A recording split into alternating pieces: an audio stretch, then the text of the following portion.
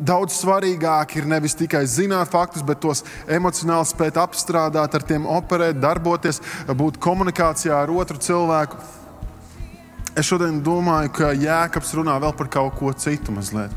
Ka Jēkabs nerunā nevis par IQ vai IQ, viņš runā par tādu garīgo inteligenci.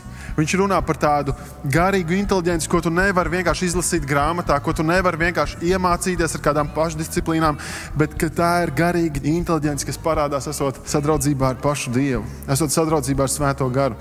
Ka mēs varam pieaugt un sasniegt šo garīgo inteliģenci tikai dzīvojot saskaņā ar Dieva prātu.